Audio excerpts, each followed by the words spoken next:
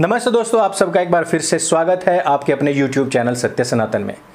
जिस प्रकार से जतिन प्रसाद, जिनके की कयास पिछले दो साल से लग रही थी कि वो भारतीय जनता पार्टी को ज्वाइन कर सकते हैं, जिस प्रकार से उनके पिता ने भी सोनिया गांधी के खिलाफ इलेक्शन लड़ करके अपने बगावती सुर पहले ही खरी भाषा में प्रस्तुत कर दिए थे उसके ऊपर मैंने काफ़ी टाइम पहले ट्वीट भी किया था, लेकिन क्योंकि मेरा ट्विटर हैंडल अभी सस्पेंड हो रखा है तो मैं वो ट्वीट आपको ढूंढ कर नहीं बता सकता। जब मैंने बताया था कि किस प्रकार से जी ट्वेंटी थ्री में शामिल होने के बाद इन कयासों पर और अधिक बड़ी मोहर लग जाएगी कि जतिन प्रसाद उत्तर प्रदेश के अंदर इलेक्शन से पहले भारतीय जनता पार्टी को ज्वाइन कर सकते हैं। जिस प्रकार से कांग्रेस पार्टी में काफ़ी लंबे टाइम से आंतरिक कलह चल रही थी अध्यक्ष पद, उपाध्यक्ष पद पर हमेशा ही कांग्रेसी लोग काबिज रहे।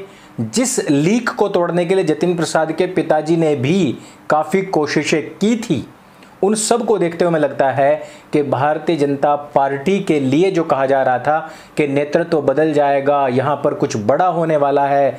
आपसी अंतर कलह चल रही है भारतीय जनता पार्टी में। योगी आदित्यनाथ को केंद्र में बुलाया जा सकता है।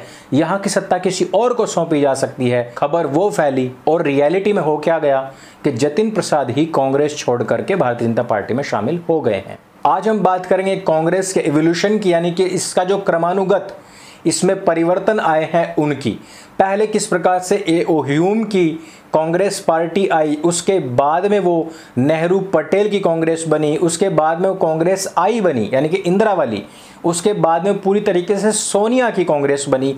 और अब हमें देखने में आ रहा है कि कांग्रेस के अधिकतर नेता निकल निकल करके पहुँच रहे हैं भारतीय जनता पार्टी में। बहुगुणा परिवार पहले ही भारतीय जनता पार्टी में आ चुका है, जिस प्रकार से कांग्रेस पार्टी लगातार अपने युवा नेतृत्व को नकारते हुए अपनी ही परिवार के लोगों को केंद्रीय नेतृत्व में लाने के लगातार प्रयास कर रही है, जिस प्रकार से प्रियंका गांधी वाड्रा हो, उसका पति भूमाफिया हो, चाहे उसके बच्चे हों, इन सबको जिस प्रकार केंद्रीय राजनीति के केंद्र में लाने की कोशिश लगातार सोनिया गांधी कर रही हैं उनसे काफ़ी सारे युवाओं में आक्रोश तो है ही।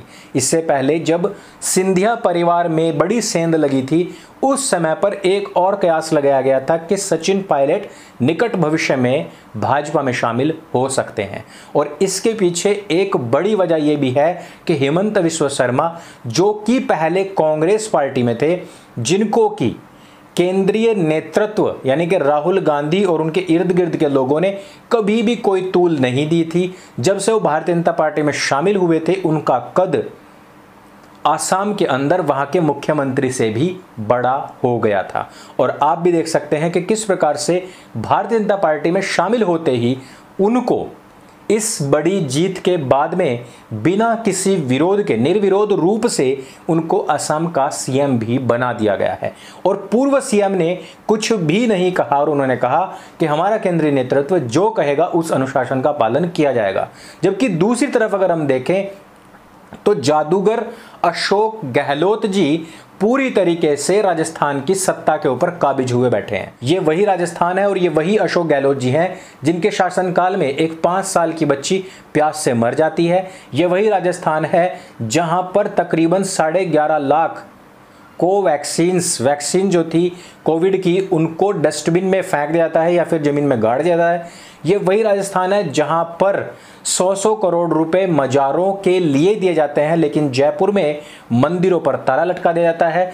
ये वही राजस्थान है जहाँ पर एक मीणा परिवार में बेटी की शादी होने पर उनके ऊपर एक लाख का जुर्माना लगा दिया जाता है, जबकि उस बात को सुनकर के उस बेटी का पिता डिप्रेशन से मर भी जाता है। लेकिन दूसरी तरफ़ राजस्थान के अंदर बड़े बड़े जलसे निकलते हैं बड़े बड़े जनाजे निकलते हैं, उन पर कोई भी कार्यवाही नहीं होती है। अर्थात तुष्टिकरण की राजनीति और वो भी मुस्लिम तुष्टिकरण की राजनीति के चलते राजस्थान में जहाँ पर हाल फ़िलहाल स्थितियाँ बहुत ज़्यादा खराब हैं, वहीं पर एक दूसरा बड़ा कांड हुआ था कि सचिन पायलट जी, जो कि एक युवा नेता हैं उनको उप मुख्यमंत्री पद से भी हटा दिया गया था। और अभी भी आपने देखा कि किस प्रकार से लगातार राजस्थान के अंदर गुर्जर समुदाय के ऊपर हमले भी हो रहे हैं, उनको दबाया भी जा रहा है और उनको सताया भी जा रहा है।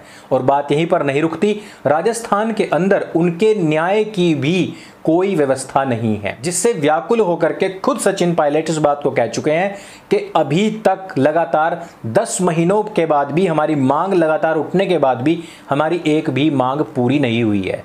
ऐसे समय में जब हम देखते हैं कि सिंधिया, जिनको कि कांग्रेस में केवल और केवल राहुल गांधी का एक पिछ लग्गू पिद्दी बना करके रखा गया था। भारतीय जनता पार्टी में आने के बाद में उनको केंद्रीय नेतृत्व ने केंद्र में स्वीकार किया। जिस प्रकार हिमंता विश्व शर्मा को स्वीकार किया, जिस प्रकार से पौंडीचेरी में खुद कांग्रेस से आए हुए नेता को ही सीएम बनाया गया, जिस प्रकार से गोवा में कांग्रेस में से आने वाले नेताओं को मुख्य पदों पर रखा गया, और वो भी उन लोगों को जिनके अंदर की प्रतिभा तो काफ़ी थी, जो कि युवा तो थे, जिनके पास में आइडियाज़ तो खूब थे, लेकिन उनको कांग्रेस में इस वजह से तूल नहीं दी गई, क्योंकि ये एक राजशाही परिवार है, और राजशाही परिवार में कभी भी राजा और उसकी संतानों के आगे किसी की भी नहीं चलती, भले ही राजा की संतान कितनी भी निठल्ली, कितनी भी निकम्मी और कितनी भी महामूर्ख क्यों ना हो।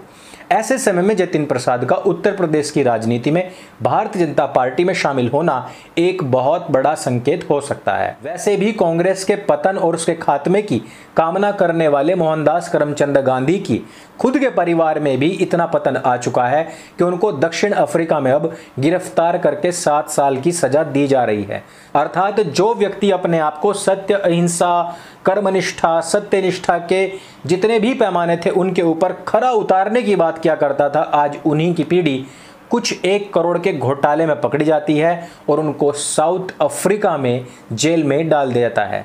भारत में भी इस प्रकार के बहुत सारे घोटाले हुए हैं और ये कोई तीन सवा तीन करोड़ के घोटाले की बात नहीं मैं कर रहा हूँ। यहाँ पर तो अकेला एक कलमाड़ी, यानी कि शीला दीक्षित का एक छोटा सा प्यादा भी बीस हज़ार करोड़ का बड़ा घोटाला कर लेता है, लेकिन उन तक को कोई सजा नहीं होती है। दो दो लाख करोड़ रुपए के घोटाले पिछली सरकारों ने किए, लेकिन उन पर कोई भी कार्रवाई नहीं होती है। ये वही मोहनदास करमचंद गांधी का देश है, जिनके लोग यदि बाहर जाकर के सवा तीन करोड़ के घोटाला भी करते हैं तो उनके ऊपर ना केवल इतना जुर्माना रखा जाता है, बल्कि सात साल की सजा भी होती है। और यहाँ पर नोटों के ऊपर मोहनदास करमचंद गांधी की फ़ोटो होती है। उन्हीं गांधी की सपोर्टेड कांग्रेस पार्टी में लोग कई कई लाख करोड़ का घोटाला कर लेते हैं, लेकिन भारतवर्ष में उनको कोई भी सजा नहीं होती है। अपने ही नवाब जादो शहजादों को सत्ता सौंपने के चक्कर में इन लोगों ने बहुत सारी युवा प्रतिभाओं का सत्यानाश किया है। ऐसे समय में समय रहते उन लोगों को पार्टीबाजी छोड़ करके अन्य स्थान पर अपने भविष्य को तलाशना चाहिए। दोस्तों, आपको क्या लगता है कि निकट भविष्य में राजस्थान की जो सत्ता है, जो वहाँ की सरकार है, क्या उसमें आपको किसी तरीके का फेरबदल होने की कोई उम्मीद है?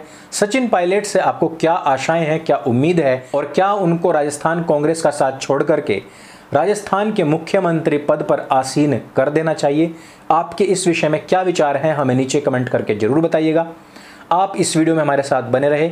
आपका बहुत बहुत धन्यवाद। ये वीडियो आपको जानकारी से भरपूर लगे तो उसको सबके साथ में शेयर अवश्य करें। मेरे संग बोले सत्य सनातन वैदिक धर्म की जय। जय हिंद वंदे मातरम।